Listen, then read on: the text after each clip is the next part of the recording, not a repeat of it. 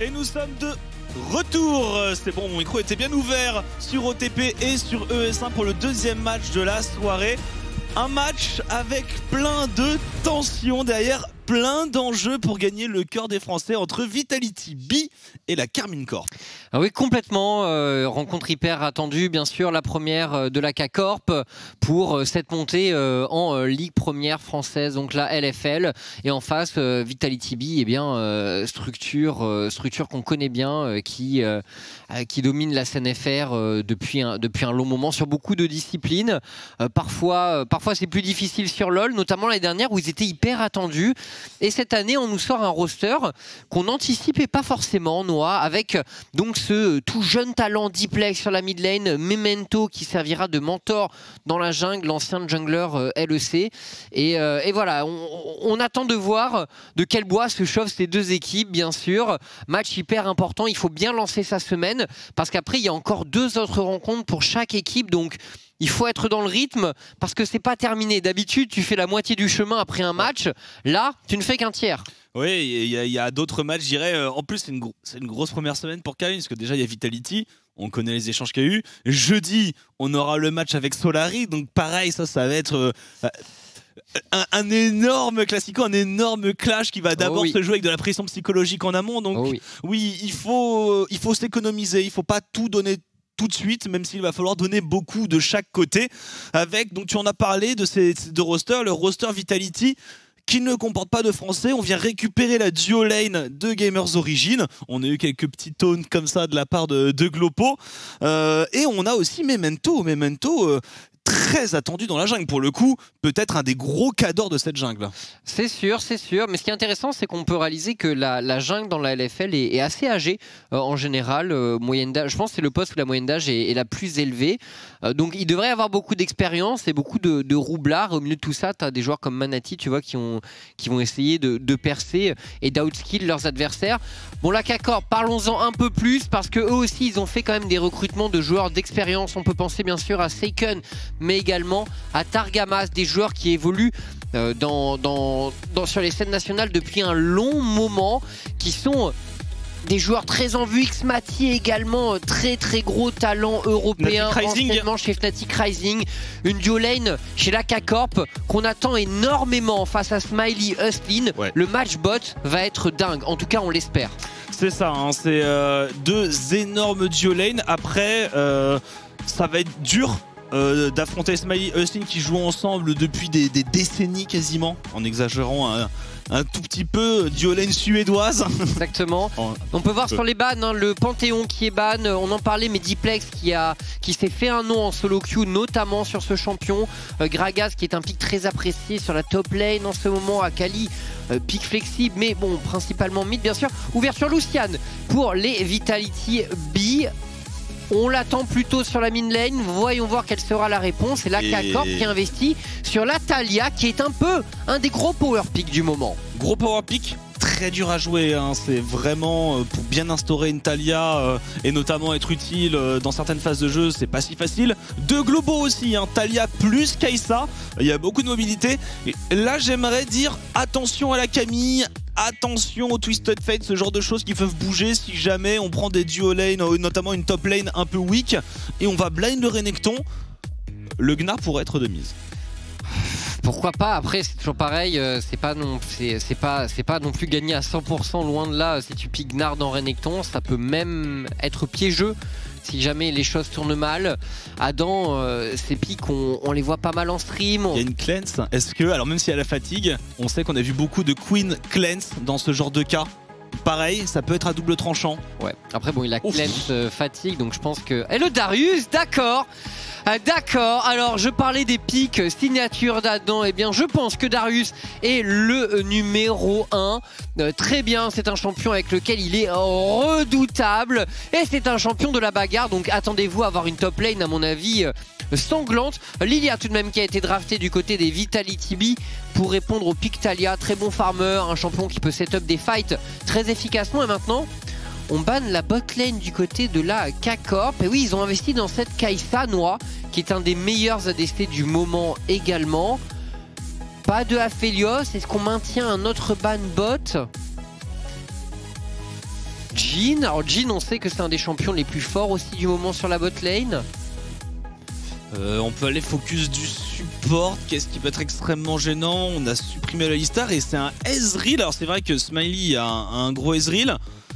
Euh, le fameux Ez Nautilus qu'on a pu manger encore et encore. Et le Yone qui est ban par les Vitality B. pour, pour, faire un mix-up de dégâts entre, entre jungle et, mid lane, hein, je pense. On peut aller chercher la top lane. Hein. Il y a... On va aller chercher le support. Euh, enfin, on a pu aller chercher pardon la jungle. Qu'est-ce que je dis ah, La jungle qui, est, occupée par Talia. Bah, on, révèle la duolène, euh, disons qu'on n'a vraiment aucune indication sur la duolène en face, donc euh, il y a potentiellement euh, une surprise à attendre pour Vitality B. C'est vrai que on peut, on anticipe que le Lucian sera mid, donc on aurait pu avoir théoriquement le counter pick directement du côté de la K-Corp, mais on décide d'investir sur Leona.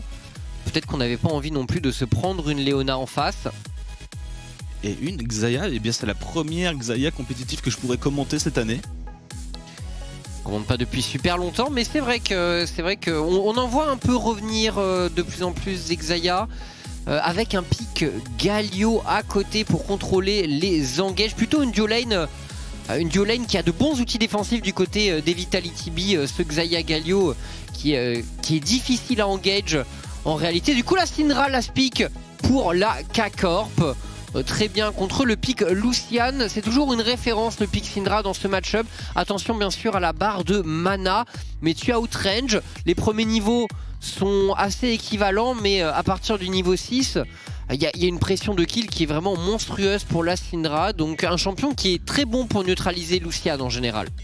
Euh, je suis d'accord. Euh, je me demande la capacité que pourrait avoir Vitality B euh, in-game à, swap la, mid lane et, la top lane pour rendre les match un peu moins durs. Mais c'est pas non plus, même avec le swap, c'est pas forcément un cadeau, mais c'est juste que là, j'ai vraiment l'impression qu'ils ont deux match très défavorables. Euh, ouais, ouais. Alors après, encore une fois, mid, le truc c'est que le Lucian, euh, euh, peut difficilement jouer aussi agressivement qu'il le voudrait, notamment mettre des dashins. C'est très difficile contre une Syndra qui a encore son stun à disposition, donc tu veux jamais dashin avec Lucian quand la Syndra a son stun. mais je sais même pas si ça les arrangerait vraiment, parce que finalement, Renekton contre une Syndra qui joue bien, tu te fais quand même outrange. T'as un meilleur setup de gang, je dirais, peut-être. C'est sûr, c'est sûr, mais, mais bon, je voilà, après, je, honnêtement, je connais pas du tout le niveau euh, de. Enfin, faudrait connaître le niveau de diplex euh, sur la top lane. Enfin, c'est des conditions qui sont quand même assez particulières. Rappelons Diplex. En, premier match, en plus, c'est pas évident de, faire ce call. Bah, rappelons Diplex, joueur qui a 17 ans, donc qui est jeune. Euh, du coup, ce genre de swap, tu les vois pas souvent sur des joueurs qui sont aussi jeunes. Il faut un peu plus de bouteilles en général pour pouvoir assumer de te dire tiens et tout, je vais peut-être partir top.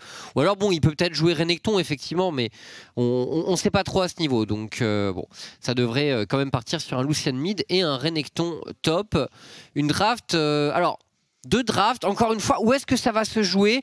Le truc, s'il y a gros potentiel de kill mid et top du côté de la K-Corp, avec même une duo lane aussi qui peut se projeter vers l'avant avec Léona, Kaisa. Ils ont des setups de gank partout. C'est entre le top avec un Darius qui va mettre beaucoup de DPS, qui a tout de même un grab, qui a un slow, la bot lane avec une Léona, la mid lane avec une, une Syndra. Il y a des setups de gank partout. Euh, maintenant, eh bien, euh, comment on va arriver à concrétiser ça du côté de Talia Je pense que tout de même, en jouant très agressif, et j'ai tout de même l'impression que c'est euh, le style de jeu de la Carmine Corp, on peut, je pense, exploser cette early game. Maintenant, faut pas faire l'erreur. Ouais, bah écoute, le truc c'est que honnêtement, je vois Darius, j'en vois rarement, et on est obligé de se dire que la top lane va polariser l'attention, à mon avis, des deux équipes. Je pense que naturellement, les junglers vont être appelés par les barres de vie de la top lane et par les affrontements constants qu'on va, qu'on va avoir euh, sur cette lane. Attention, Darius, c'est un champion qui snowball extrêmement fort on, est relativement, à part la à part la Xayah, on est assez low range finalement du côté de Vitality B. Donc un Darius qui serait fed, ça pourrait, ça pourrait devenir catastrophique. Et on est rentré dans la partie deuxième game de cette année 2021 de LFL. Vitality B contre la Carmine Corp. Match très très très attendu. Et on est parti avec alors, l'Ignite pour Diplex sur son Lucian. Des ambitions, j'aime bien. Et on a une TP du côté de Seiken. Attention, un Ignite peut vraiment changer la donne dans un match-up. Smiley qui a décidé de partir sur le face check de Adam, mais Raven qui concède le passage. On ne trade pas face à un Darius niveau 1 en général, son passif étant à peu près injouable pour un corps à corps au niveau 1. Et un choix assez agressif de Memento euh, avec ce petit, euh, ce petit Dark Harvest, hein, cette petite moisson d'âme. Ouais, ouais, c'est euh, une des runes qu'on peut exploiter sur Lilia. Alors, une des curiosités, ça va être est-ce qu'on va avoir Moonstone sur Lilia parce qu'on sait que c'est un build qui est assez en vogue, c'est un build qui rend tanky, qui a beaucoup d'utilité pour l'équipe, qui peut être assez puissant. Il euh, y a cette possibilité. Maintenant... Ils ont des dégâts très très faibles. Je pense que c'est compliqué que Memento parte sur Moonstone. Je suis d'accord. Euh, ça rendrait un peu trop facile l'itemisation de, la Carmine Corp. Donc, avec en plus Dark Harvest, je me dis qu'on est tout de même, on va tout de même plus sur un, liandry ou quelque chose comme ça. Non, mais je pense effectivement que, Memento, vu le, vu le mix de dégâts euh, de son équipe, il est obligé d'infliger un peu de dégâts, sinon ça va être un peu du full AD côté Vitality B. Et on est lancé alors. Lucian contre Syndra. Syndra la range, ce qui pose énormément de problèmes à Lucian. Mais attention encore une fois, Lucian qui peut se glisser dans les trous de cooldown de Syndra. Tandis qu'Adam met énormément de pression directement dans hein. son 1v1. Et le niveau 2 peut être euh, extrêmement piégeux pour Raven qui respecte ce euh, Darius. Il est célèbre en solo queue pour son Darius Adam. Je pense que Raven connaît l'animal. Je regardais un petit peu, tu parlais euh, juste avant de, Deep Place contre Seiken. Après, il a la sécurité Seiken, il a pris chrono potion, euh, potion de corruption et cookies, euh, plus une téléportation contre un Ignite. Il va prendre aucun risque. Seiken, il va full push la vague, il va TP, il va revenir, il va prendre la pression, il va rien faire d'autre. C'est souvent comme ça que ça se passe. C'est vrai qu'on voit beaucoup les Syndra utiliser directement tous leurs consommables. En tout cas, on, a pu voir Showmaker, le, champion du monde en titre chez, chez Damwon, euh, qui, a une façon de jouer Syndra extrêmement agressive et qui ne laisse aucun espace à son adversaire. Et bon, après, c'est bon, Showmaker. Euh, c'est particulier quand même. Et je pense de toute façon, Seken là, sachant qu'il y a un Ignite en face, il doit un peu se méfier, il doit être en train de, jauger son adversaire. Diplex est connu comme étant un excellent roamer, mais pas forcément comme un laner euh, d'exception. Bon, bien sûr, il est fort en lane, c'est pas la question, mais c'est pas forcément le domaine dans lequel il est le plus connu. Et Memento qui est repéré par cette ward. On se sépare euh, la jungle. Ouais, mais on, était conscient qu'on voulait pas jouer Scarapateur. On est pression mid, pression bot sur ce moment-là. Euh, là où Adam a eu le temps de faire un back, euh, very early, hein, juste pour prendre un, cristal de rubis, reprendre une potion supplémentaire et garder un peu cet avantage. Je pense qu'il va être très très agressif sur les prochaines secondes pour essayer de forcer Raven à la faute. Complètement, là, Adam qui, Adam qui pour l'instant est bien, est bien sur sa laine. On a vu la couverture de Syncroft sur le bounce. On a de, pas mal de vision à porter sur le top. Memento est repéré. Et dans tous les cas, il y a une grosse wave. Donc là, Adam, il va la laisser venir. Il va se mettre bien. Ce sera peut-être le moment pour Raven de faire un reset. Ah, mais il peut pas reset comme ça en laissant la vague freeze. il, doit la pousser. Mais on n'a pas spécialement l'information sur Syncroft en fait. Donc voilà, c'est un peu dangereux. Et c'est pour ça qu'il allait mettre sa ward. On veut absolument crash cette vague. Je trouve limite dommage que Syncroft soit pas dans le coin pour essayer de punir quelque chose comme ça. Ouais, après Syncroft, il doit, il, doit aussi, pas de bon côté. il doit aussi suivre le, mouvement et le rip-hop de ses camps. Mais euh, Memento qui, euh, qui, décide de ne pas accompagner le crash de la wave top. Bon, je pense qu'il y avait suffisamment de creep pour que même un Darius n'ait pas envie de s'engager dans cette histoire. Puis le niveau 5 a été touché par Raven qui va revenir à pied également de son côté. L'abatteur, d'accord, donc euh, on a l'ambition de farm. L'abatteur qui n'est pas vraiment un objet pour les trades en early game, mais qui est plus un, objet pour le scaling et, un petit power spike hein, économique en mid game. Euh, et des boots qui peuvent être très importantes contre un Darius, bien sûr.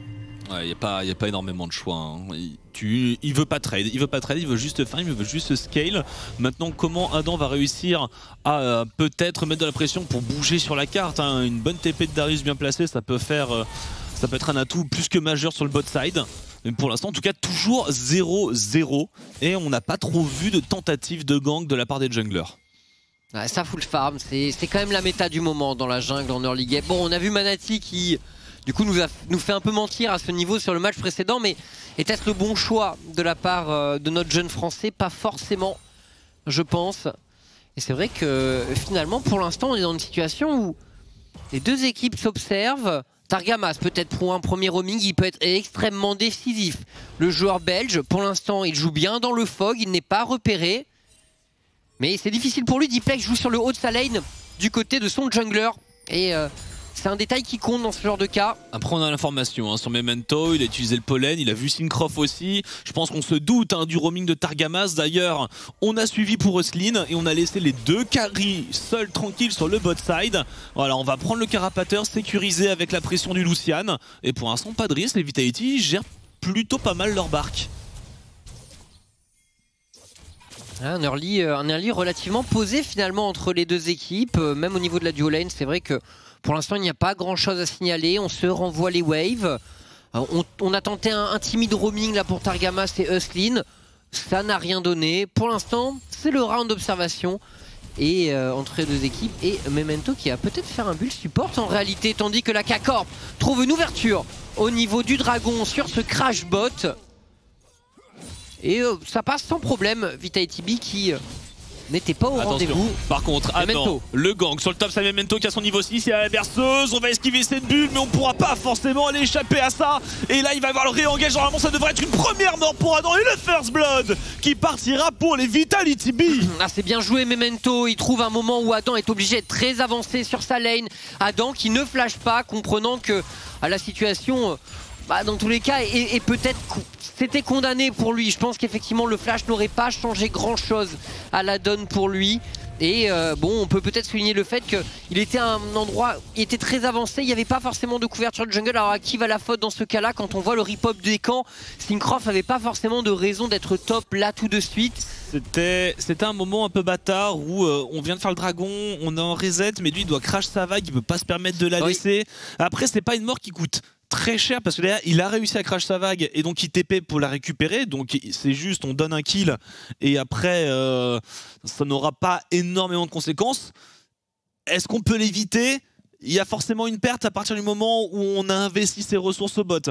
Sachant que je voyais un peu Adam Push hein, à ce moment-là, au moment du dragon, avec son TP, avec sa TP2, je me suis dit peut-être qu'il veut juste crash, partir dans le buisson et menacer d'une téléportation pour une éventuelle défense de dragon malheureusement on a puni. En tout cas Memento a l'expérience qui lit bien la situation. Il comprend que tout le monde est au bot du côté de la K-Corp. Il voit qu'Adam Top est dans une situation difficile où il est obligé d'être avancé au-delà de la river. Il vient, il gank, il punit, euh, c'est clean du côté de Vitality B et ça nous amène au First Blood. La conséquence, eh bien, c'est que le, Darius tombe. Le Darius, c'est, euh, alors, il a quand même, il a bien farm Adam pour l'instant. Mais attention, c'est toujours pareil pour Darius. C'est pas un très bon champion de teamfight. Euh, c'est un champion qui est surtout fait pour snowball son 1v1, pour mettre énormément de pression dans le duel. Mais si on n'arrive pas à faire ce genre de choses, honnêtement, le pic perd de sa superbe. Encore heureux, j'ai envie de dire, bon, tellement ça peut être euh, dangereux en 1 contre 1. Et avec une Lilia, ça peut très vite être pénible hein, dans les, dans les teamfights. Hein. Une Ilia qui va partir rapper, hein, d'ailleurs on confirme, notamment avec le miroir et le Dark Seal. Et on vient chercher le héros de la faille. On arrive à récupérer cette prio avec Adam sur le top side. On a un peu push pour Seiken, hein. on a bien ce, ce Lucian en vision. Et ce sera sécurisé sans problème. Par contre sur les objectifs neutres, euh, ils sont très propres la Carmine Corp. Et on enchaîne bien, Syncroft qui prend son temps pour aborder les objectifs. Qui à chaque fois choisit de le faire dans des situations euh, où il n'y a pas vraiment de contestation possible pour les Vitality B. Et du coup, on a ce Herald. Où est-ce qu'on va le mettre, ce Herald? Quel est le meilleur endroit? Difficile à dire. Il n'y a aucune plaque qui est tombée encore, dites-vous. Aucune plaque n'est tombée dans ce match. Bon, au top, on n'est pas si loin que ça d'avoir la première, mais finalement, pour Syncroft, il n'y a pas d'endroit providentiel, je pense, pour mettre ce héros de la faille. Donc il faut voir si c'est laner dans les 4 minutes de disponibilité du héros de la faille trouve euh, un moyen de mettre un peu plus de pression. Je me demande si là, euh, ne peut pas crash sa vague, venir avec Syncroft sur le top side, mettre ce héros et on fait un dive voilà, sur Raven. Euh, on le punit avec un Darius, le kill peut aller assez rapidement. On a la prio, on a la vision, il y a peut-être peut un petit quelque chose à faire et on vient de perdre, hein, d'ailleurs sa ping, hein, vient de perdre Diplex de vue. Ouais, après, si on veut faire ça, il faudrait, si possible, stacker de la wave pour, euh, la K-Corp et Adam, pour l'instant, qui, euh, à chaque fois euh, emmène la wave directement sous la tour, ce qui bah, finalement donne pas de possibilité de, de, gros gros play, je pense, pour la K-Corp. Il met de la pression après, mais il s'expose aussi. Attention, peut-être le bot side. Et on a les niveaux 6, ça peut aller très très vite un engage. Mais ça manque un peu peut-être de vision hein, du côté de la K-Corp sur tout ce bot side. Forcément qui est un petit peu dominé avec Smiley et Uslin qui sont au perma-push. Avec juste des bots pour Xmati, on a le collector oh. euh, en face. Regardez Raven qui, prend vraiment aucun risque, on respecte. Attention, oh, très bon ratissage la part d'Adon directement l'ulti avec quelques stacks de passifs, ça fait très mal et on voit que ça peut aller extrêmement vite dans ce 1v1. Adam qui a voulu déclencher la foudre sur cette action, il n'aura pas le kill. Raven, on pourra louer sa discipline et sa prudence dans ce 1v1. Il donne peu d'ouverture à Adam. Et en un sens, et en un sens, c'est vraiment bien joué. Et oui, elle fait Moonstone, bah, elle avait commencé par le miroir. miroir. Donc effectivement, euh, des dégâts magiques assez limités pour les Vitality B. L'armure va avoir beaucoup de valeur chez chaque membre de la K-Corp. Ouais, peut-être un petit peu dommage. Après, peut-être qu'il compte sur son Dark Steel pour un éventuel Medjay plus tard et avoir un peu d'AP. Euh, ça peut éventuellement être un peu mou hein, sur, euh, dans les fights. Hein. Après, tu peux toujours build de la paix après, effectivement. Mais oui. Avec ce Darius qui est en train de partir avec pas mal de tanking. Oh, et le premier item de Diplex qui décide de choisir un au bout du rouleau. Alors, contre un duo mid-jungle AP, on ne peut que saluer ce choix qui devrait le rendre difficile à tuer. Parce qu'au passage, le mid, Diplex, il peut avoir une situation difficile. Si jamais la Talia est en embuscade dans un buisson et que le stun de Seiken connecte, Derrière, la Talia n'a qu'à mettre sa poussée sismique. Et c'est un kill assez facile potentiellement, mais avec cette résistance magique supplémentaire, ce sera peut-être plus difficile. Les Mercury auraient été bien quand même aussi pour moins craindre le choc d'un stun de la Syndra. Mais là, Diplex, dans tous les cas, il va pas être évident à tuer il va falloir commencer à se décider pour le héros de la faille, j'ai l'impression. C'est la mid Et le pour dragon. la Le dragon, hein, le dragon qui était entamé, on va y aller avec un mur de Lattice pour Syncroft. On va essayer de couper attention, peut-être Slin en front lane. Et on abandonne l'objectif pour les Vitality B qui l'auront soigneusement préparé pour la Carmine Corp. la K-Corp qui intervient et Diplex qui peut pas rejoindre ses coéquipiers, le point était occupé, contrôlé par la K-Corp. Pas possible pour lui de passer dans cette situation. Les Vitality B euh, qui décident de ne pas y aller. Pareil pour un TP de Raven, j'ai pas l'impression qu'on avait une ward idéale pour un flank dans le dos par exemple, plutôt au niveau du Blue Buff de la K-Corp. Donc Vitality B qui ne sent pas forcément le play sur cette action. Il y avait TP advantage après. Est-ce qu'il n'y avait pas moyen de disputer quelque chose? J'ai l'impression qu'on est peut-être euh, plus prudent que de raison. Après, c'est Adam qui décide de, décaler. Donc, certes, il y avait TP Advantage. Mais euh, dans tous les cas, Adam était là. Donc, il n'y avait pas de surnom possible pour les Vitality B en réalité. Oh, quel frère le, Ça, c'est le vrai top laner. Alphari n'aurait pas fait ça. peut-être pas, peut-être pas, c'est vrai. Mais euh, il a, il a bien préparé ce, crabe, c'est le moins qu'on puisse dire. On continue à, bien s'observer entre deux équipes. Mais voilà, le décompte des objectifs neutres quand même passe bien en faveur de la K-Corp. Ce sera une âme du dragon des montagnes à venir dans ce match. Et le prochain dragon va déjà, je pense, bien exciter les deux équipes parce que côté K-Corp, on se rapproche de l'âme et côté Vitality on sent bien que ça pourrait être problématique d'avoir cette âme en face. Ils avaient un petit temps creux là, la, K-Corp, ils n'avaient pas encore leur mythique, c'est en train d'arriver, voilà le Luden hein, qui vient de pop du côté de Syncroft qui devrait pas tarder euh, pour Seiken, et non il vient de faire son bac, hein. j'ai l'impression qu'il n'avait pas, il avait pas les fonds nécessaires. Donc pour l'instant, il n'y a pas d'objectif à disputer. Il faut juste jouer un tout petit peu safe, je pense, pour la K-Corp euh, sur, oh. euh, sur ces deux prochaines minutes. C'est intéressant, on décide de swap sans doute pour jouer le prochain Herald pour les Vitality B. Smiley, Uslin en position sur la top lane. C'est suivi par Targamas et Xmati.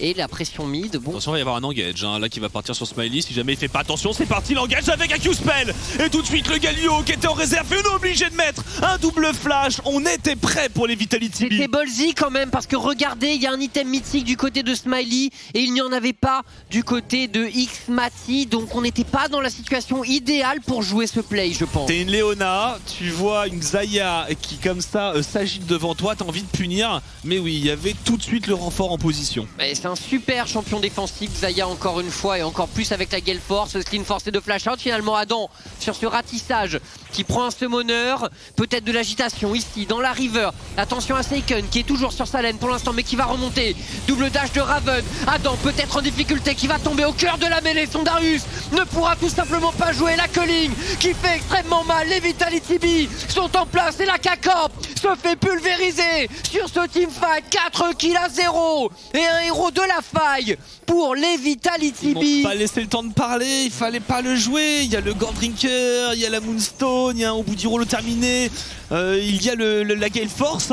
Et à côté, on a fini aucun des mythiques. On avait une prio pour Seiken qui, était, qui pouvait prendre cette tour, je pense. En plus, on a des tours qui sont très hauts en point de vie. Je pense que c'est même pas sûr que ça tombe sur une charge du héros de la faille. Il fallait laisser ce timing pour la K-Corp. Ouais, ah, ouais, Seiken, bah ouais, il aurait peut-être qu'il aurait pu aller euh, terminer cette tour à voir, parce que il a, il a push quand même sa wave un peu en retard, Seiken. Et là, le problème pour. Euh, pour la K-Corp, c'est qu'on s'engage effectivement, le mine n'est pas là, il met une TP un peu, un peu en désespoir de cause, Seiken, mais on n'est pas prêt, tu l'as dit, dans le League of Legends 2021, quand quand l'itémisation adverse affiche plusieurs mythiques et qu'on n'en a quasiment pas de son côté, il faut concéder le fight. Ce n'est pas prudent de choisir d'y aller. La K-Corp l'a appris de la manière forte, je pense. Vitality B vire en tête. Ouais, c'est dommage parce que je trouve que des deux équipes, c'est eux qui avaient eu le plan de jeu le plus propre au niveau du contrôle des objectifs, clairement, et ça se voit par le compte de Dragon. Et euh, oui, un tout petit peu concédé de terrain, euh, ça leur coûtait pas grand chose, on était euh, à égalité au niveau des golds, c'est pas la grande catastrophe, mais voilà, ça donne ce petit plus à Vitality B pour prendre les devants et à voir où sera utilisé ce héros de la faille, peut-être sur la mid lane pour forcer un passage. Il y a le prochain dragon dans 20 secondes, ça peut être un moment de mettre la pression. Alors justement, un nouvel objectif à venir. Oh, il a plus de flash cette fois-ci, Austin, ça va être difficile pour lui. Le taunt est utilisé, mais Adam qui s'avance et qui est absolument seul Adam Adam qui est allé sur Austin avec des œillères et qui n'a pas vu le piège Vitality B se refermer sur lui. Cinquième kill. Et ce dragon ira au Vitality. La ne pourra pas contester. En tout cas, ça manquerait euh, vraiment de sagesse de leur part. On perd cette tour au top. Également, Vitality B qui progresse peu à peu et qui est en train de se détacher. 3000 gold d'avance dans ce match et même plus. Désormais, on approche des 4000 quasiment. Premier dragon en leur faveur. la game est bien engagée. Le problème, là, quand on fait le bilan chez la K-Corp, bien, le Darius, c'est un très bon pic de lane. C'est un très bon pic de duel potentiellement mais c'est un pic très all-in et à 0-3 on a du mal à voir comment Adam pourra avoir une utilité dans ce match. Ouais, il faut qu'il finisse son Gordrinker peut-être pour un, ultime sustain hein, sur un bon combo d'ulti. Hein. Le, le tourbillon plus derrière le Gordrinker, c'est beaucoup de sustain, c'est de la tankiness, donc éventuellement. Après, c'est sûr que là, c'est une erreur de jeunesse, hein, ce qu'il vient de faire Adam. On n'était pas prêt sur la mid lane, on n'a pas la vision dans la jungle, on vient de chaise ce Galio jusqu'à la frontière de son buisson. Euh, on se fait taper sur les doigts, on se fait rappeler un peu à l'ordre. Oui, il faut, euh, il faut jouer un peu plus euh, en coordination avec l'équipe. Et ce sera pas le Gordringer d'ailleurs, euh, on est sur l'Estropier. Ouais, alors qui est, qui est quand même un peu plus au standard du côté de Darius. Le petit dash supplémentaire qui a beaucoup d'impact pour un champion qui eh bien, manque un peu de mobilité s'il n'a pas stacké son passif. Bon, et là maintenant, pour la K-Corp, on est dans une situation alors ce n'est pas mort bien sûr, on a tout de même Kaisa qui est un champion qui scale extrêmement bien, Syndra qui est le champion qui a le plus de range du match, donc si on joue vraiment bien avec le 2 carry, on a des ouvertures en teamfight, je pense, pour la K-Corp, surtout avec le champ de mine de la Talia qui peut être extrêmement gênant pour les all-in des Vitality B. Euh, mais voilà, Adam va avoir du mal à trouver sa place un peu dans tout ça. Il faut qu'il euh, euh, chill un peu je pense, et euh, qu'il arrête de prendre ce genre d'initiative en solo parce qu'il est attendu quasiment à chaque fois. Ils peuvent l'envoyer en side lane, hein, essayer de jouer ça et de recentrer sur un 4 contre 4 sur la mid lane parce que je pense que dans son match-up pur de 1 contre 1 contre un Renekton, a priori, T'as jamais trop envie de traiter ce Darius Même si maintenant ça, se discute. Il faut refaire un, bilan des items, mais honnêtement, si le Renekton a un demi-item d'avance et disons un niveau d'avance quasiment permanent, disons ça se joue plus même si t'es Darius. Il y a le Brumble Tabi sur le Darius qui, qui ont été un peu build dans le vraiment dans ce match-up là. Donc, euh, mais oui. Mais le truc c'est que là, dans les teamfights, euh, je vois pas qui va aller chercher, à part éventuellement la Lilia, et Lilia peut Ouais. euh, kite assez facilement en Darius. C'est que le Lucian, Ouais, il, va pro- il va prendre une culling, euh, le Renekton, a priori, il a pas que ça à faire, et de l'autre côté, c'est une Xayah qui peut kite et un Galio qui peut contrôler. Donc, Oh le fight Oh à le fight d'un flanking incroyable, euh, j'ai du mal à y croire. Et pour flank, il faut avoir une prio de lane. Ça va être difficile, ça va être difficile, c'est sûr, mais on va voir, on va voir. Ce match n'est pas fini, bien sûr, mais Vitality B un bel avantage pour l'instant. Voyons voir si le scaling et le late game peuvent être cléments pour la K-Corp. Et on peut, encore une fois, faire reposer ses espoirs sur Xmati, qui est un joueur extrêmement performant et qui joue Kaisa, qui est juste un, un des meilleurs ADC de la méta. Il y a toujours ce... Non, pardon, il n'y a pas du tout ce héros de la faille. Bah si, voilà, il est mis sur la mid lane. Pour Memento, on va essayer de chercher la T1 mid. Ça leur permettrait d'avancer un petit peu. On a pris des side lanes.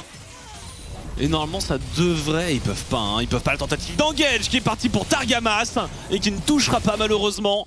On reste un petit peu devant, on va essayer de wave clear grâce à Seiken. Mais là, il y a voilà toute la carte à reprendre pour les Vitality B. On va aller ressaisir les side lanes pour ensuite aller chercher le surnombre à nouveau sur cette mid lane.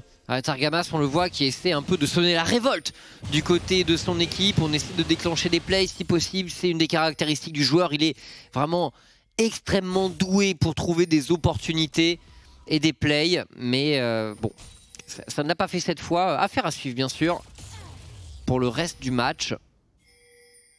Alors, co- comment on décide de jouer du côté euh, des Vitality B Finalement, Raven qui va prendre le bot side. Diplex toujours face à la Syndra. De toute façon, il a build de, la résistance magique. Donc je pense que. D'ailleurs, il a décidé de faire des, des berserkers. hein. Alors que des Mercure, je pense, aurait vraiment été un bon choix contre Syndra. Sachant qu'il y a une Talia, sachant qu'il y a une Leona. Ça m'aurait vraiment pas semblé farfelu, mais. Bon. Il y a des balls du côté de Diplex qui décident de faire les berserks. Et Adam qui cherche, hein. il cherche son, son adversaire. Euh, on n'a pas l'information sur cette ward. Euh, Il y avait Syncroft qui était, euh, je pense, prêt à arriver avec un mur de la tisseuse si jamais on avait un, combat qui s'engageait dans ce bot side. Et j'aime bien ce qu'ils font les Vitality. On déborde et on prend le contrôle de la top lane, de la bot lane. On, on pivote ensuite sur la ligne du milieu, on amène le surnom, on prend la tour, on repart dans la jungle, on prend la vision, on prend euh, le red buff et maintenant on a un setup au Nashor qui est tout de même assez sympathique. Et regardez-moi aussi cette Talia, finalement 3-0-2 en itemisation support. Ça me dégoûte un petit peu. Ah ouais, mais c'est le build de nos jours. C'est la synergie entre les deux items est, est excellente et, et ça donne, euh, ça, ça fournit énormément de mobilité, notamment aux, aux- aux alliés de, euh, de la Lilia. Et bon, ça, ça peut avoir beaucoup de valeur pour les Vitality. Le, le build est très fort, encore une fois. euh, si vous êtes des joueurs de Lilia et que vous ne connaissez pas, Ça vient tout droit de la Chine. Ouais, ouais, qui, euh, qui ont été effectivement les, les premiers à utiliser ce build. Et très largement euh, réutilisé du côté de la Corée euh, tout au long de la semaine dernière. Une minute dragon. Une minute dragon, mais dans les conditions actuelles, on voit pas forcément la K-Corp capable de, de prendre cet objectif. Ils n'ont pas besoin de ce commit. C'est un dragon des montagnes, c'est clairement pas le meilleur dragon. Ce serait un infernal, on en rediscuterait. Ils ont déjà deux dragons d'avance, donc Vitality B avant l'âme du dragon euh, ancestral. On a beaucoup de temps de revenir au gold, de revenir dans la partie, donc surtout, voilà, prendre des ressources, laisser ce dragon à moins qu'il y ait une occasion vraiment en or. Mais Oh, ça Targamas. n'a pas l'air. Oh, Targamas, le stun directement sur la Lilia Xmatic qui déclenche l'ultimate, mais on tank en face et le pile des Vitality B se met en place. Xmatic qui bourre sur un Austin qui est forcé au flash out. Elle est là enfin la réaction de la K-Corp. Premier kill pour cette équipe dans cette LFL Spring 2021 et Targamas à la manœuvre. Elle est là l'occasion en or. Par contre, il faut peut-être s'arrêter là. On a tenté un ulti du côté de Adam. On vient poke un petit peu et on a dérouté. Ça y est, Syncroft a déjà entamé le troisième dragon de la K-Corp. On va aller juste un petit peu Eh couvrir le push sur la mid lane. Superbe flanking de Targamas qui donne le go pour son équipe. Ouais, Targamas, dans ce genre de cas, on sait que c'est vraiment un, un- un très très gros euh, leader dans ses play-in game. Il a énormément d'inspiration, comme je vous le disais tout à l'heure. Et là, il décide de poursuivre sur Raven. Dommage pour le stun de la Syndra qui ne connecte pas et Adam derrière qui ratisse. Raven en difficulté qui tombe. Le kill est en faveur de X-Mati. Et la K-Corp autour de cette mid lane qui est en train petit à petit de se mettre en place et de retrouver des couleurs. Ah, C'était inattendu et quelle occasion rêvée. On est en train de revenir, de recoller au score et surtout la pression de l'âme du dragon des montagnes sur ce timing qui avait l'air si dur, Chip, si dur. Ça va permettre pendant ce reset, voilà, on récupère un peu de contrôle sur la carte, on réavance la vision, on réavance lane, on va pouvoir respirer. Qu'est-ce que ça fait du bien, hein. même c'est Ward on Ashore, hein, on saute ce poids des épaules. Et là, Raven qui va peut-être avoir des moments difficiles à jouer, tandis qu'on on revoit cette superbe inspiration de, de Targamas. Et derrière, euh, la solidarité et la synergie K-Corp qui se met en place pour la première fois vraiment dans ce match en fight. Et donc je disais, Raven, pas de flash, pas de TP pour lui. Il va avoir beaucoup moins d'options que Adam euh, dans, dans les minutes à venir. Adam d'ailleurs qui a euh, son petit niveau d'avance.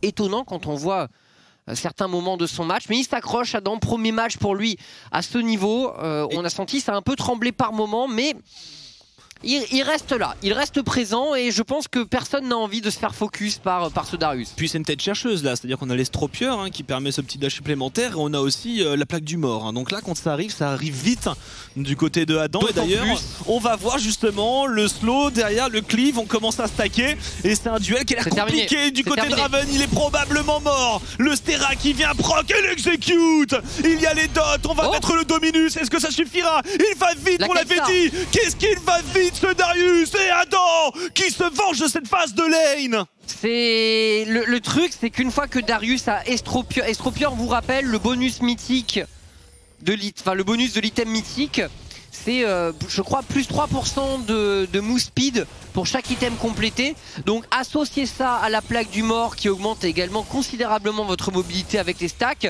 et vous vous retrouvez avec un champion qui est hyper rapide et qu'on ne peut quasiment pas kite à moins d'avoir des euh, à mo- à moins des dashs et, beaucoup de distance euh, d'avance j'ai envie de dire et là Adam bah, qui nous a montré que dans ce 1v1 euh, il semblerait que le Renekton n'est pas trop il a ce petit niveau d'avance en plus j'en parlais là qui qui fait énormément la différence aussi et on revoit ici un dernier tourbillon ravageur Et il lui de la le part d'Adam en l'achevant. Comme un mec très très cool. Ok, bah ouais, le, le Darius commence à avoir énormément de mobilité et le 1v1, je le disais, il a pas de flash Raven. Il s'est retrouvé au milieu d'une lane et la punition est rapidement venue. Et puis il est- pas sur un stuff de 1v1 entre le Gordrinker et les bottes de Mercure contre un Darius. Forcément, euh, il est pas là pour ça. Donc là, Raven, euh, bah, il subit, il subit, il va peut-être devoir justement euh, changer un petit peu la trajectoire pour tenir un peu plus. Ouais, écoute, bientôt le retour de sa TP, le flash n'est plus si loin également, il faut encore un peu de patience pour lui, mais dans cette fenêtre de, fragilité, il a été, euh, il a été euh, bien, bien puni par Adam. Donc euh, bien joué, bien joué aux, aux jeunes joueurs de la K-Corp. Le match qui est extrêmement serré. Par contre, 1 minute 20 pour potentiellement une âme du dragon des montagnes. On va euh, tout mettre en place, j'espère, du côté de la K-Corp pour euh, aller gérer ça. On a la téléportation pour Adam, hein, Adam qui devrait probablement essayer éventuellement de repartir sur le top side. On pourra pas y laisser Diplex sans sa TP. Ah, le prochain dragon va être très important entre deux équipes, bien sûr. Euh, On, va voir la mise en place de chacune des deux équipes pour cet objectif. La K-Corp qui veut chercher cette première tour mid, un peu moins d'assises sur cette mid lane pour les Vitality B, c'est toujours ça de prix. Pour la K-Corp, on ouvre un peu plus la carte. Attention à Diplex qui comprend bien qu'il pourrait être le prochain sur la liste d'Adam. Et, euh, et maintenant, c'est le dragon. 40 secondes avant ce dragon, la prochaine wave va être très importante pour la mise en place de chaque côté. Slin qui n'a pas 100% de son trinket disponible en termes de ward, mais on a deux pings tout de même, quelques autres pings à côté du côté des Vitality B, mais pas de trinket disponible pour faire un petit surnombre de ward. Et on n'a pas de bonne TP là pour Adam, on n'a pas la, la mid, on n'a pas trop de vision, donc effectivement il y a un piège hein, qui est tenté côté Vitality B. Et ça TP sur la mid lane nature pour Adam, on va pas s'embarrasser euh, de détails, on va directement foncer euh, au teamfight. Ok, puisqu'il n'avait pas un setup de flanc, il décide de se regrouper avec ses coéquipiers pourquoi pas, mais ça laisse peu d'effet de surprise, on va dire. Il va falloir forcer brut. Adam qui décide de prendre l'initiative directement. Raven se repositionne via un dash. Et la Kameto Corp, Carmine Corp, excusez-moi, je vais y arriver. Qui push sur cette mid lane. Adam toujours, toujours plus loin. Toujours plus loin. Oh, qui s'engage très très loin, mais la K-Corp est extrêmement agressive dans son positionnement. Attention à ce comeback peut-être à l'ulti de Lilia et le fight est engagé. Les Vitality B qui perdent Memento dans la manœuvre. Deep qui prend le kill sur Syncroft. C'est extrêmement serré entre les deux formations, mais la K-Corp qui gagne cet affrontement, tu l'as dit, Noix, deux morts chez les Vitality B et le dragon qui est récupéré par la K-Corp. L'âme est à eux et c'est un énorme plus en teamfight. C'était euh, compliqué tout de même. On a eu très très peu pour Xmati. Hein. Xmati qui a foncé, qui a ulti dans le taunt de Huslin, qui a réussi à cleanse assez vite, à se repositionner. On va revoir le début de ce fight. Il y a eu beaucoup de choses, ça a été très très bien tombé. Parce qu'il y a une belle berceuse aussi en réponse hein, du côté des Vitality B. Et là on va revoir Adam, il utilise l'estropieur, il met Huslin, échec et mat.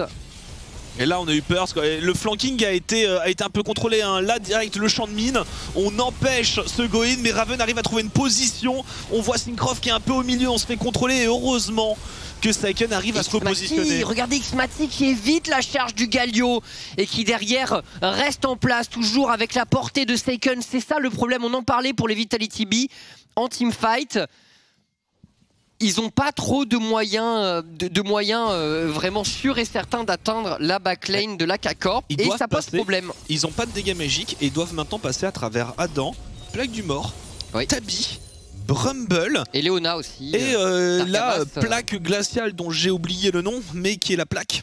Ouais, et Targamas, Targamas également qui, qui stack pas mal l'armure. Donc oui, effectivement, il y a, ce truc-là, peu de dégâts magiques, voire pas de dégâts magiques chez les Vitality B, et tout ça couplé à, peut-être une difficulté à atteindre la backline, ça pose des problèmes. En tout cas, en, front, en, teamfight front to back, la Syndra est extrêmement gênante. Et encore une fois, Xmatic qui met un très très beau sidestep sur la charge tout à l'heure. Syncroft qui tente d'isoler un joueur Vitality B sans succès pour le jungler de la K-Corp. Ça se tentait, on a la mid, on récupère la vision autour du baron Nashor. Et euh, il va falloir essayer de, se commit un peu les Vitality B pour éviter euh, de, se faire, prendre l'objectif. Avec cette âme du dragon des montagnes en plus, hein, on sent que depuis quelques temps les Vitality B n'arrivent pas à trouver la solution. Pas sur les side lanes, pas en teamfight.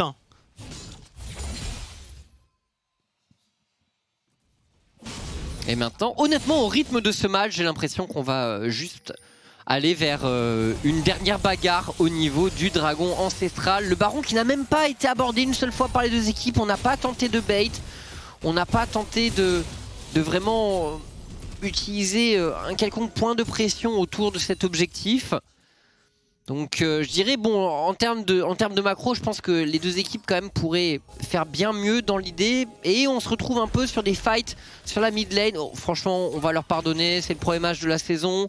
Euh, tout le monde se met en place. Je pense qu'il doit y avoir euh, pas mal d'appréhension et de stress. Vous êtes tellement à regarder ce premier jour de LFL, c'est assez hallucinant. Adam, toujours en embuscade.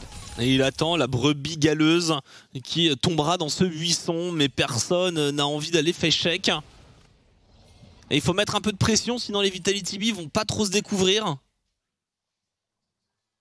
Et on va renvoyer a priori Adam voilà, dans son 1 contre 1 contre Raven. Avec une sécurisation du carapateur, tranquillement, sans peur, on laisse le dot finir et avec un reset de Saken.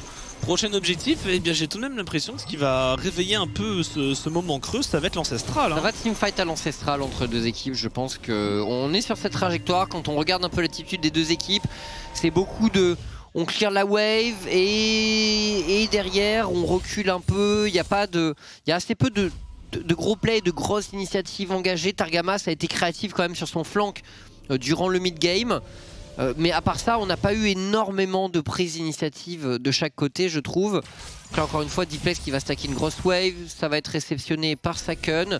Attention tout de même à un Syncroft qui est en embuscade avec le mur de la tisseuse de Talia. Oh, et la K-Corp qui met un peu dans le noir les Vitality B au niveau de ce baron. On n'a pas encore de trinket bleu disponible. Est-ce qu'on a des doutes du côté des Vitality B Je sais pas, on vient de finir après la le, Dominique du côté de Smiley. Donc peut-être que c'est ça qu'on attendait pour aller focus un peu la frontline euh, qui est face à lui. Parce que c'est vrai que maintenant avec le, rendu interminé, ça fait tout de même beaucoup d'armure. Donc euh, éventuellement avec cette Xayah qui arrive sur du late, on peut avoir le DPS suffisant. Même comme ça, j'ai un peu de doute. Et on essaie de garder voilà, la priomide, il y a une téléportation. Elle a fait, de l'armor pen, la Xayah, après, donc bon. Elle, est, elle est tôt cette téléportation du, du Renekton, ça c'est une très bonne indication pour la, Carmine Corp. On pourrait juste en pour envoyer Adam euh, sur le top side ou sur le bot side en pensant oh, le double jouer. Le double stun qui passe Et on re-engage par-dessus du côté de Xpati Diplex qui survit, hein, vive le haut bout du rouleau dans ces conditions, mais la mêlée générale n'est pas terminée. Le Galio s'envole et quelle berceuse absolument exceptionnelle de la Lilia de Memento. Les Vitality B s'engouffrent dans l'ouverture et profitent de ce super multi de leur vétéran suédois. Et maintenant pour la K-Corp, il faut tenter de sauver des vies. Ah, super dispersion des faibles de la part de Seiken qui va empêcher la charge de Hustlin. Mais on a l'air de vouloir engager le baron d'achat pour les Vitality B. On va essayer de défendre. On peut jouer la game sur du côté de la Carmine Corp. On essaye de poke un petit peu. Le Blue Buff va être récupéré du côté de Syncroft. Est-ce qu'on arrive à des assez J'ai l'impression qu'on va abandonner ce Baron Nashor puisque dans 15 secondes il y a un ancestral. Le mur de la tisseuse, on va essayer de bloquer. Je crois que c'est juste du déplacement, on bloque même pas les creeps là-dessus. il va on prend la position. Il veut prendre un peu d'avance, j'ai l'impression. Syncroft, il prend la position dans la rivière. Téléportation également de Seiken. Ils le savent, la K-Corp. Tout va se jouer potentiellement au niveau de ce dragon ancestral. Un peu plus de stats désormais du côté des Vitality B avec ce baron Nashor. Mais euh, pas forcément de quoi faire la décision finale. On va voir qui va être le plus adroit dans le prochain fight. Bilan des flashs, plus qu'un flash côté Vitality B contre 3 disponibles pour la K-Corp. Ça peut faire une belle différence. Ça tombe vite, ça tombe vite, ça. Non, c'est bon. On a juste pour les Vitality B. Mais personne n'ose. Targamas qui fait office de front lane. Est-ce qu'on va y aller du côté de Slin Attention. On arrive à trouver beaucoup de dégâts sur les mêmes. le burst Monstrueux sur Targamas. Mais le dragon, ce sera les sécurisé avec un smite de Syncrov. Est-ce qu'on veut vraiment fight dans ces conditions pour les Vitality B Adam qui rotate directement pour aller tenir la mid lane. Targamas qui est allé offrir son corps et empêcher le fake des Vitality B. Certes, il tombe, mais son équipe a désormais 4 du dragon ancestral et peut potentiellement aborder un prochain teamfight en étant plus serein. Mais comment trouver la situation pour un teamfight, Noah C'est là où c'est là où la vraie question se pose de mon point de vue, puisqu'en face, il y a un Baron Nashor, encore 1 minute 30. Donc c'est pas comme si la k pouvait s'avancer vraiment au niveau des waves et mettre de la pression sur les tours adverses. Du coup, ça risque de nous amener dans une situation de statu quo un peu, tandis qu'on revoit, regardez Diplex, la résistance magique qu'il a build, je pense qu'il peut lui dire merci sur cette phase de jeu. dispersion des faibles, le grab juste derrière. C'est bien suivi pour Xmati, mais très bien marqué du par Raven. Et Smiley, Smiley qui commence à s'exprimer également avec la zone du Galio derrière, qui le couvre parfaitement. Kelzonia de Memento avec sa berceuse qui a été décisive et qui a permis au Vitality B de reprendre le contrôle du teamfight. C'est animé entre les deux équipes. Ah, ça veut rien lâcher et on pouvait pas rêver mieux tout de même pour une toute première game de la Carmine Corp. Hein. Ils donnent tout ce qu'ils ont, on sent que c'est important, porté par le Blue Wall qui euh, a répondu extrêmement nombreux à l'appel. C'est sûr, et maintenant pour la K-Corp, on essaie de trouver une ouverture pour un fight. Mais encore une fois, push des tours va être difficile face à un Baron Nashor. On peut potentiellement prendre cette T2, pourquoi pas En allant forcer un fight du côté de Targamas. On sait qu'il n'a pas froid aux yeux, le, joueur belge. Et on sécurise cette T2, mais est-ce qu'on va pouvoir faire la même chose au niveau de la T3 Ouais, c'est 15 secondes avant la fin du buff baron. Faut juste réussir à attendre la prochaine vague. Hein. Elle a été ping. Il y a des wards euh, très deep qui pourraient éventuellement permettre un, flanking. Ils ont une culling au pire du Lucian. J'ai du mal à voir la K-Corp pouvoir passer une T3 dans le temps qu'il leur reste un parti. Ceci dit, fin du baron Nashor. Après, ils n'ont pas la mid lane. Le de la tisseuse. ça va être C'est bien, bien fait, c'est bien fait. Mais il y a une culling. Diplex, Diplex On vient focus la tour. La tour, pour l'instant, on n'ose pas y aller du côté des Vitality Bio. On est en train de perdre du terrain. Ce Ah ouais. push s'arrêtera après cet inhibiteur. On n'a pas de vague sur la mid lane. Et on décide de ne rien faire. C'est peut-être un petit peu étrange. Attention à cette berceuse. Ça peut être l'engage que l'on attendait pour les Vitality Bio. La berceuse qui est. activée. C'est parti. On se regroupe. On essaye de pile. Et pas d'engage. On se retourne. Pour Targamas, va pas toucher avec l'ulti. Et les fights s'arrêteront là. Il n'y a plus rien à prendre ici. Pour la Carmine Corp, il faut partir. Ouais, on va s'arrêter là. Euh, Euh, joli juke ici de la part euh, d'Adam. Mais à Diplex, euh, Culling, vraiment très moyenne sur le moment où on a voulu aller chercher le fight pour Vitality B. Encore une fois, je pense qu'ils auraient peut-être pu éviter de perdre cette tourbotte avec la Culling utilisée un peu plus tôt. Le wave clear un problème pour Vitality B quand même.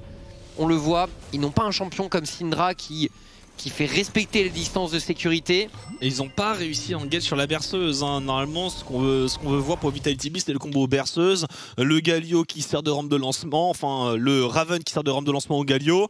Et euh, Smiley euh, qui, fait parler sa magie. Là, on s'est retrouvé face à un mur. Et, et cet inhibiteur qui va coûter hein, la Carmine Corp qui a tout de même qui garde l'ascendant dans cette partie. Les Golds ne veulent plus rien dire à ce moment-là la- du jeu. Tout le monde est dangereux. Tout le monde est dangereux à peu près dans la situation actuelle. Ah, quel, quel stuff de support de la part de Memento, de l'anti-heal, euh, le Zonia pour gagner du temps et derrière le bâton du flow. C'est le Morello. Et euh, ouais, ouais. C'est l'enfer, l'enfer de cette ouais. Lilia. Il, est, euh, il, il est utile, il va jouer de son expérience pour, pour setup les meilleures situations pour ses coéquipiers. Alors, c'est super creep sur le bot, bien sûr ça met de la pression. C'est d'ailleurs à noter la K-Corp qui décide de push à cet endroit et qui auront techniquement encore des super creeps au moment où le Baron Nashor arrivera. C'est un petit supplément potentiel pour préparer cet objectif. Et on va juste push, ça aurait été pas mal de réussir à voilà, push le mid, partir dans la jungle, c'est ce qu'on est en train de faire. C'est super, c'est exactement ça, et préparer une éventuelle rotation vers la top lane. On va jouer mid et top. Euh, et on en profite, hein, Vitality B ne veulent pas euh, se, la- se laisser faire, ils veulent pas laisser les Carmine Corp prendre la totalité de la position avec le repop du Nashor. Et voilà, on met de la pression mid.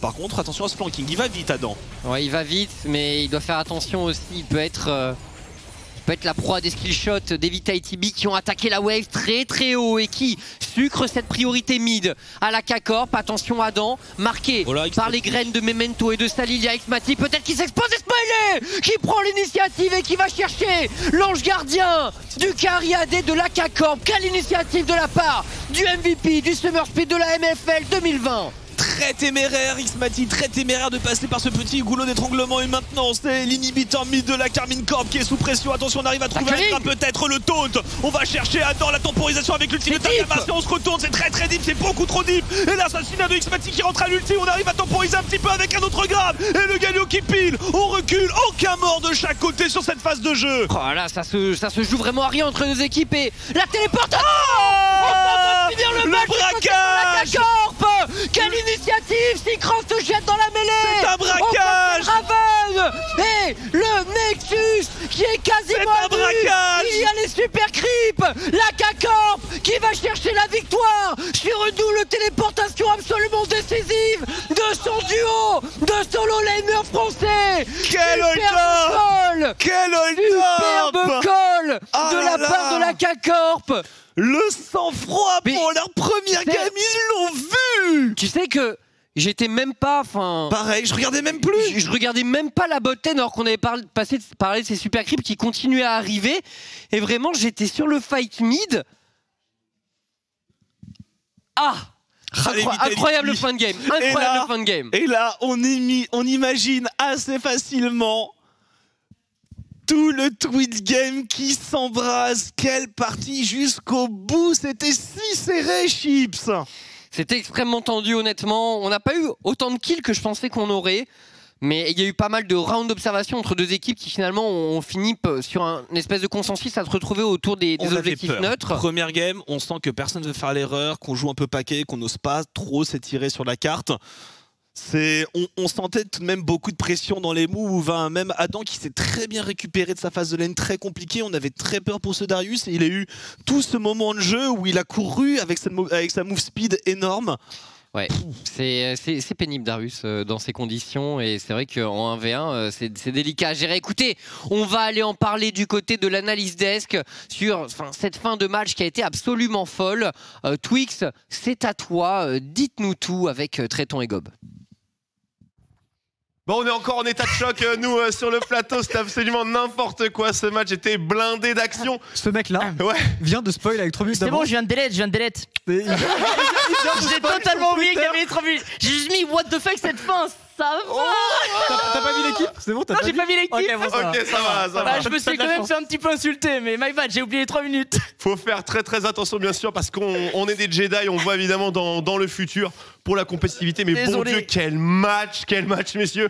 On a les drafts, bien sûr, qui se refresh. Des pics de signature partout. Euh, traitons, euh, traitons, traitons- explique-nous un petit peu les, Mais- enfin, les, les positionnements des équipes, quoi. Quels sont les objectifs? De base, l'objectif, évidemment, quand tu as Renekton et Lilia, c'est d'aller gank au maximum ton Darius et essayer de snowball dessus. L'objectif de l'autre côté avec Talia, c'est d'aller là où il y a les CC sûrs, c'est-à-dire peut-être de la Leona, de la Syndra et d'aller essayer de capitaliser sur des poussées telluriques et de l'early game. Ouais. Au final, ceux qui ont bien réussi à exploiter l'early game, je pense que c'est Vita.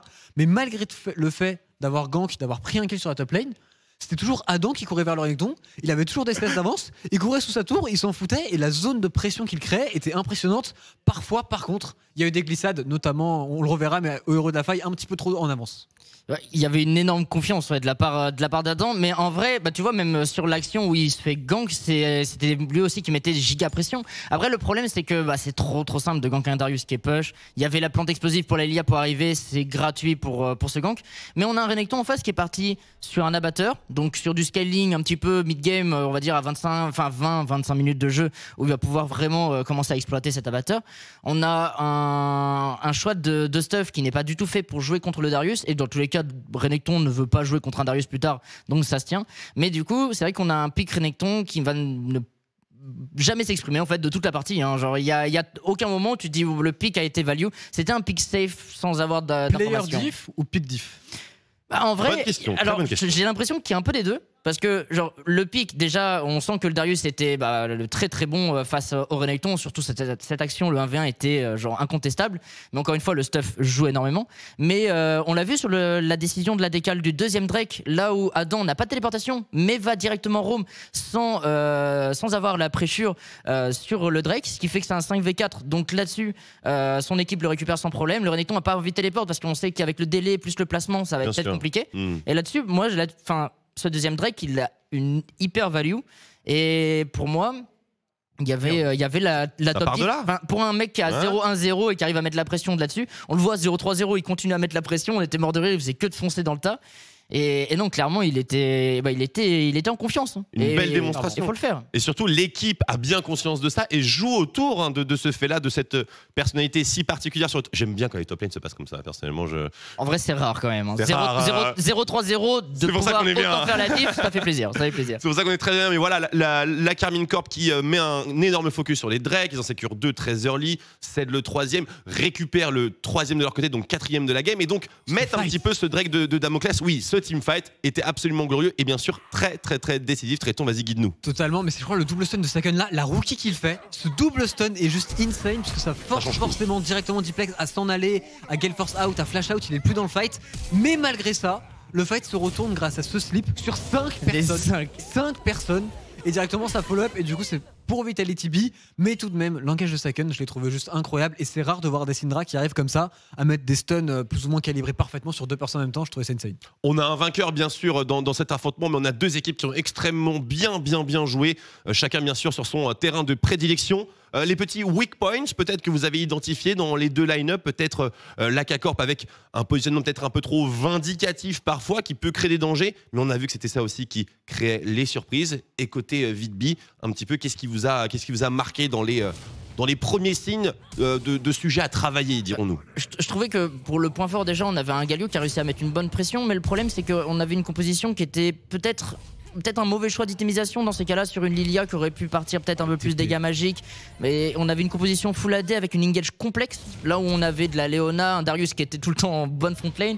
euh, j'avais j'avais cette sensation du il y avait un problème pour Vitality pour vraiment pouvoir choper les, la- surtout cette front lane qui était, Incroyable. qui était intombable hein. Ouais, c'est ce move, cette fin, hein, du coup, je peux Non, le dire. mais- Cette fin qui est quand même incroyable. Il faudra demander. Alors, je, je crois qu'on aura Saken en interview si je dis pas de bêtises. Logiquement, oui. Merci pour le Je spoil. veux savoir, On fait que ça, c'est bon. je veux savoir qui a fait le call. Ah, absolument, c'est une information très très importante et surtout pour la première fois, et ça fait bien longtemps que ça nous est pas arrivé, Quoi? 7000. ce backdoor, on ne l'a pas vu venir. Non, j'avoue qu'il n'y avait aucune Voilà. information. Je ne l'ai pas vu venir. Pourquoi c'est Darius qui est top damage Parce que ça saigne. Et puis il a bourriné sur le Renekton. Hein. Le. Renekton, il s'est fait bourrer toute la game. hein. et, et tu parlais des, des points faibles. Je pense notamment côté Vitabi, les, les deux Solènes ont été assez transparentes. Raven, malgré le gank en early game, il a pas fait grand chose. Et, Diplex, je l'ai pas vu. Il a pris 10 CS, il avait pas une pression de fou. Alors que t'as Lucian, t'as first pick Lucian dans ta draft. Oui. Tu dois mettre beaucoup plus de pression et tu dois beaucoup plus jouer autour de ce pick. Et côté K-Corp, Mati, des fois, a fait des trucs un petit peu douteux. Simcroft, peut-être un petit peu trop farmer. Très farmer. Très farmer. Après, c'était compliqué. Quasiment 10 CS minutes. hein. C'était dur de setup des ganks, je trouve, à part peut-être bot. Mais euh, il y avait ce moment-là du. Bah, tu l'as dit, Lucian, je suis. en- en- dans un sens, je trouve qu'il pouvait pas faire grand chose de plus en mid late game. Par contre, je suis d'accord sur leur late game d'être un peu derrière en forme, c'est pas trop logique. Mais sur le mid late game, enfin, quand t'as un Darius Oui. Leona en face de toi euh, avec un Darius full armor, Sachez, c'est. messieurs, que de toute chaud. manière, dans ce match, on avait les mains qui tremblaient. hein, Ah non, mais- hein. Voilà, je, je te Ah non, mais l'action était incroyable. Façon, de bout en bout, en fait, on s'y attendait pas. Même, même la fin, jusqu'au bout. enfin. La, la game était insane. Et puis aussi, la Lilia qui build autant support alors que t'es dans une composition full AD du côté de Vitality. Je pense qu'on peut un petit peu s'en vouloir. Parce que directement, on a une. euh, en termes de stuff, Adam. Alors, il mettait beaucoup de pression, mais C'était simple, ouais. Comment tu le tues? Il a, En plus, il y a deux dragons des montagnes. C'était très très difficile de venir à bout du Darius. Ouais, il fallait une Lilia de combat et non pas une Lilia de support, comme le disait très Ouais. très bien Gob GG, meilleur analyste que toi, visiblement. Euh, on va maintenant pouvoir récompenser le MVP euh, de ce match que nous avons euh, éli, élu, enfin nommé. Ça marche. Pas de commentaire, toi. pas de commentaire. C'est Seiken, euh, le mid laner de, euh, de, de la, de la Carmine Corp, bien sûr. Alors, euh, on était parti sur beaucoup de choix, mais euh, le choix s'est porté sur Seiken. Traitons. Moi, c'est pour notamment les teamfights. Je trouve qu'il a toujours été très très bon en teamfight. Ses stuns ont été plus que game breaker. J'ai failli le donner à Adam. Et je pense que Adam, quelque part, peut le mériter. Mais il y a eu aussi des grosses erreurs de sa part quand il y a sa deuxième mort et sa troisième mort. Mhm. quand même de très très grosses erreurs et qui auraient dû permettre à Vitality de gagner la game. Je pars du principe que Saken aussi a fait le backdoor avec Adam et je me suis dit que j'ai pas vu d'erreur de Saken Il y a eu le véritablement. stun aussi. Et par contre, j'ai vu des très très bons teamfights. Mhm. Donc je lui mets. Mais de toute façon, c'est un effort collectif de Carmine et globalement, tout le monde a bien joué chez Carmine. Bah écoutez messieurs, on va pas perdre plus de temps puisqu'on va l'accueillir directement en interview. Second de la Carmine Corp qui est avec nous sur le plateau de OTP, ma man. Comment ça va? Bonne année, Second, bonne année. Il mouille le maillot bien sûr. Comment tu vas? Bienvenue, joli frigo. Merci. Comment ça Ah, va, Second super, Tu vas bien T'as la ça va forme super. Ouais, ouais, bah, c'est- c'est c'est trop cool. On gagne contre Vita, c'est un pur bonheur. C'est- Pur bonheur pour Oui, toi tout particulièrement. vrai, bah oui, euh, on a bien choisi. Euh, sur une échelle de 1 à kiff max, t'en es où Ah, je suis au top là. Après, il reste deux matchs, donc euh, demain et après-demain, faut qu'on focus quoi. Bien sûr, bien match par match, comme dirait un joueur retraité euh, assez, euh, assez famous. Traitons justement, euh, si tu as Second sur le plateau, eh Bébou, je te le laisse. Euh, écoute, Saken, moi je vais te parler un petit peu de draft. Comment tu vois le match-up Syndra contre Lucien Est-ce que tu penses que c'est Dipex qui a pas très bien joué ou toi qui a particulièrement bien piloté le match-up pour avoir des CS d'avance? Euh, je pense que bah, façon, il jouait Ignite, du coup, il voulait vraiment jouer offensif sur la lane et essayer de prendre un avantage à ce niveau-là, mais il a pas vraiment réussi, il faisait que push la lane, donc au final, euh, euh, à moi, je sais pas, j'ai pu le freeze et du coup avoir 10 CS d'avance, et euh, franchement, je pense qu'il a fait. euh, il a pas optimisé son match-up, du coup, il a pas, il a pas pu avoir l'avance qu'il voulait avoir, et du coup, en piquant Syndra, tu t'assures des bons teamfights et euh, un bon contre de Lucian en teamfight, justement, donc, donc voilà. C'était préparé pour le coup. C'était bien, c'était savamment joué. Est-ce que tu peux nous parler un petit peu de, de l'ambiance à l'aube de ce match euh, Comment ça a été, euh, comment le build-up a été pour vous déjà au niveau de l'affiche, au niveau du Blue Wall qui euh, met une sacrée tarte hein, quand même à, à tout, à toute la France, et bien sûr au niveau du match en lui-même. Parle-nous un petit peu de, de l'esprit au sein de l'équipe et de votre excitation. Parle-nous de tout ça. Bah, pour le coup, euh, je pense qu'on était tous assez motivés et pas trop. euh, je pense que on était dans une position où tout le monde nous voyait genre top 8, euh, top 9 de la LFL. Euh, j'ai vu pas mal de tier list, etc. Du coup, euh, t'es dans cette position, où- très tôt, j'en ai vu beaucoup. Ouais. Et, euh, et du coup, euh, t'as pas trop de pression et t'as juste envie de montrer que bah, c'est pas forcément vrai. Et, et du coup, on était juste, on n'était pas forcément stressé, sauf Adam qui était un peu stressé pour lui de sa part vu que c'est son premier match en LFL. Mais, euh, mais, euh, mais franchement, on n'était pas trop, pas trop stressé. On savait notre jeu et même si. Et, et voilà. Écoute, tu, nous parles de Adam, parce que de mon point de vue, il avait pas l'air stressé. hein. Il lâchait des gros checks, il leur courait dessus, etc. Et comment ça se passe en termes de communication? Parce qu'on a l'impression que des fois, Adam veut tellement go in, veut tellement créer de l'espace, vous n'êtes pas forcément toujours avec lui. Est-ce que c'est un truc qui doit être réglé ou c'est Adam qui est un petit peu trop fou? Comment ça se passe dans la com?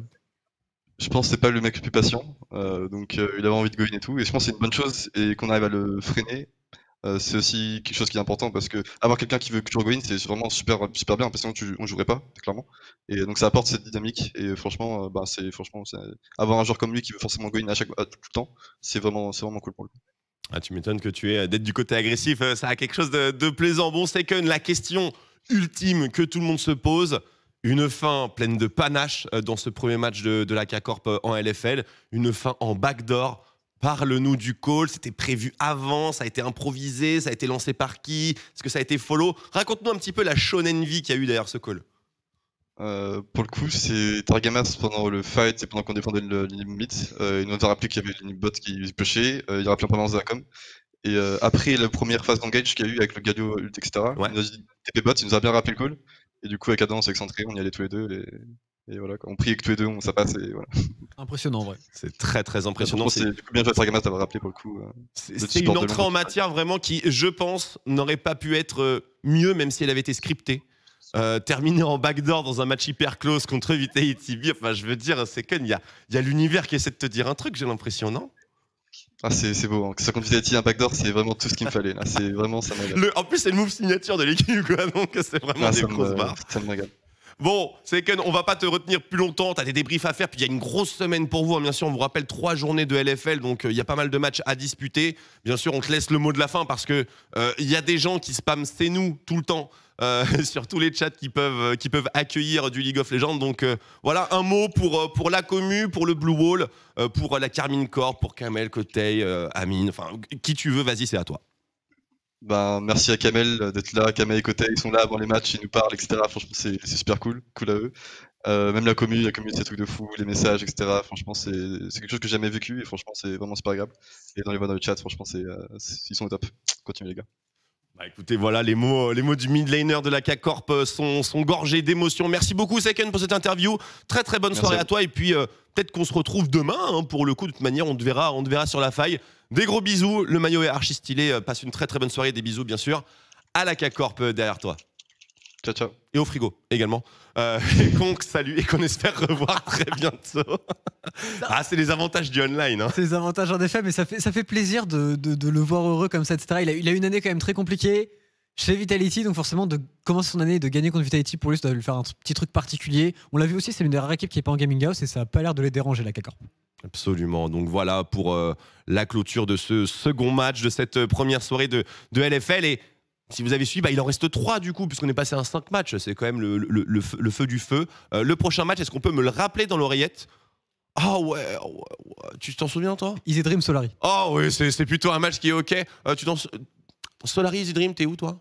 Je suis Solari. T'es Solari J'ai envie. J'ai Ah, C'est envie. assumé direct hein Ouais, ouais, non, ça s'y met direct, mais j'ai envie. Bah, à chaque fois, j'ai toujours un petit peu envie de Solari. Au début de- des saisons, il faut toujours espérer pour Solari. Après, Après, voilà.